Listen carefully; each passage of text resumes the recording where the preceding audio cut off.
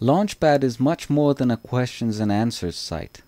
It is in Launchpad that most of the collaborative work of Ubuntu and other free software projects happen, so it's good to get familiar with Launchpad.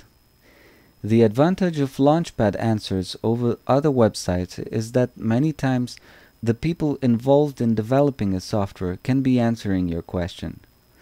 The help provided in Launchpad answers is often quite fast and can be very technical. By using Launchpad, you're also helping developers track the problems that users face when using their software.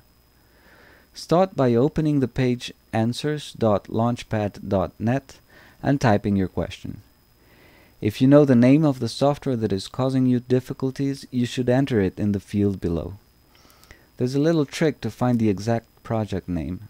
Click on Choose, enter the name of the software and choose the appropriate project from the list that will appear and then click on Search. If you're lucky, the question was already asked and answered. Try to read the most relevant results or make another search if no result appear and see if it answers your question. If not, a button at the top right hand corner of the page will allow you to ask a new question.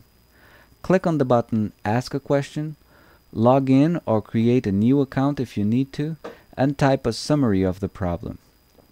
A list of possible answers will be displayed. Check this list before continuing.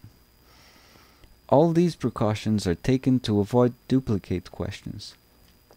In case none of the answers of the list satisfy you, scroll down and enter a detailed and clear description of the problem you're having.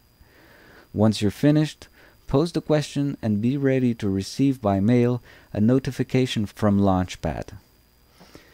Sometimes people might contact you to ask more details about the problem before being able to answer. On the next video, we will see how to file a bug using Launchpad.